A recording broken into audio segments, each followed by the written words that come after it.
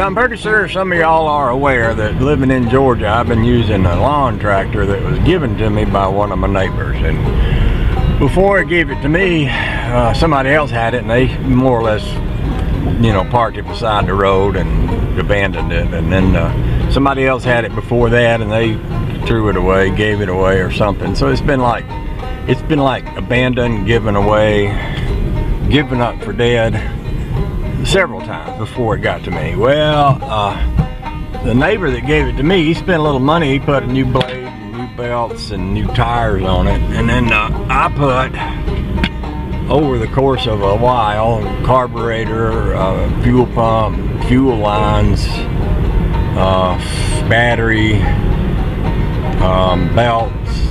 Well, I had new belts on it, but the mower ate up a belt, so I worked on the mower and put a new belt on it.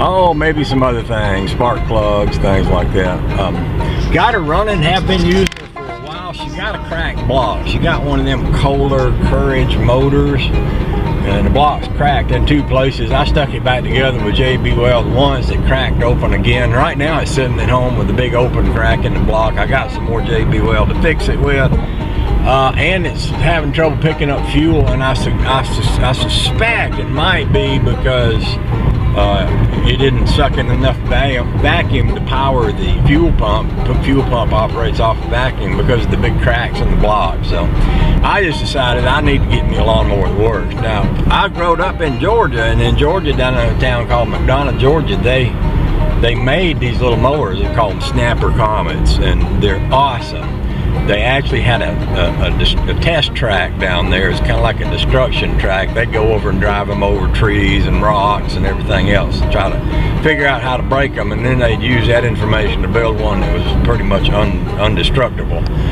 Um, well, I moved off to Maine, and there's hardly any Snapper dealers up there, and, and I guess Snapper sold off to a company called Simplicity, and Simplicity makes little lawn tractor thingies there.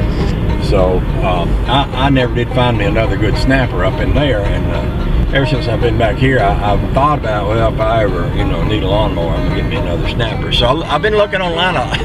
this guy had one for sale. I went and looked at it, and he said all it needs is a solenoid switch. So I got up there and. Um, not only did it need a solenoid switch, but the, the lawnmower blade was broken.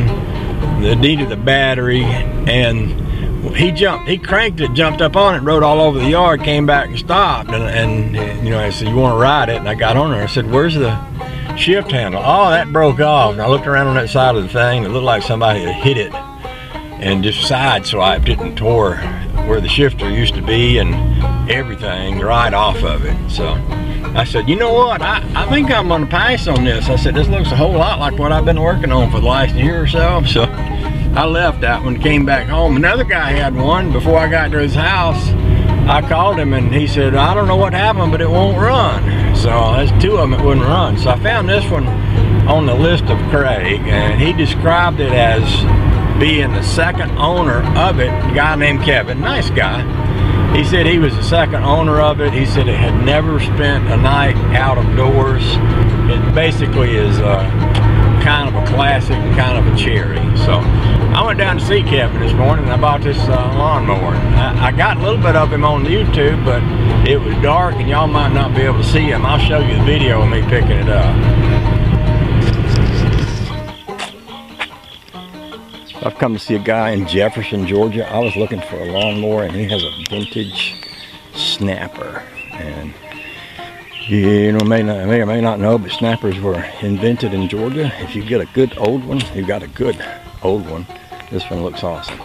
This is Kevin. Kevin, howdy. Hey. Nice to meet you.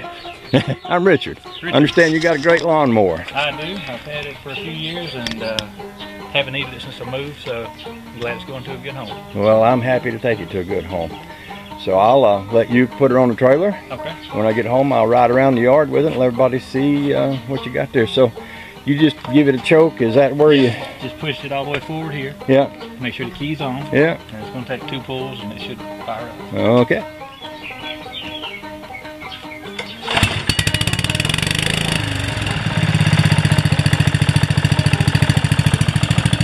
Sounds lovely.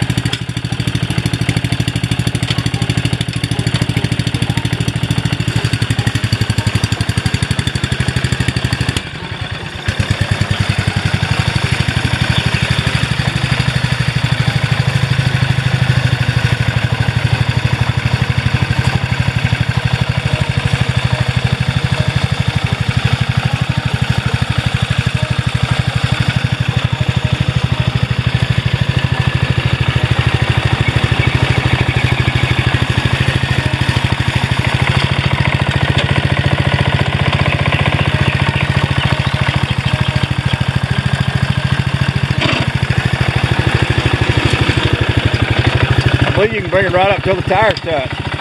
Yeah. Looks good.